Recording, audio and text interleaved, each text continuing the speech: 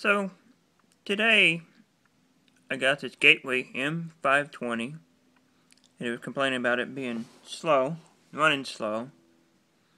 And I ran all the little checks and stuff that I can do and cleaned the computer up. And I noticed it only had 480 megabytes of memory, which is 256 sticks, uh, two of the 256 memory sticks installed in this thing. So I thought, well, why don't we put a 512 in here instead of a 256. There's another 256 on the other side of this motherboard, but the one that you can upgrade is this one screw here you take off. And it's really easy.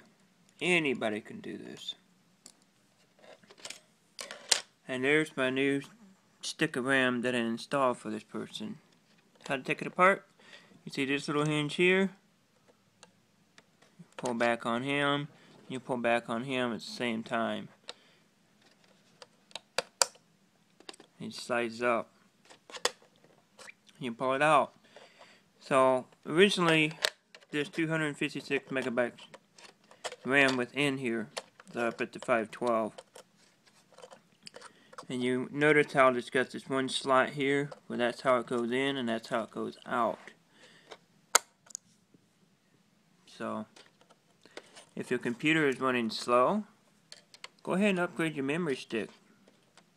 I think for like five or six dollars on eBay, you can buy this, and it'll be called the PC 2700. And I just bought a 512 megabyte stick, which you'll see right there, and I installed it. That's it. Then you put your cover back on. And the startup time of this thing is just incredibly faster the internet runs faster, everything runs faster. So if you have a slower computer, buy this brand, the Gateway M520. This is one easy way to upgrade. Thanks for watching. Leave me any comments or questions in the comments below. I'll see you next time.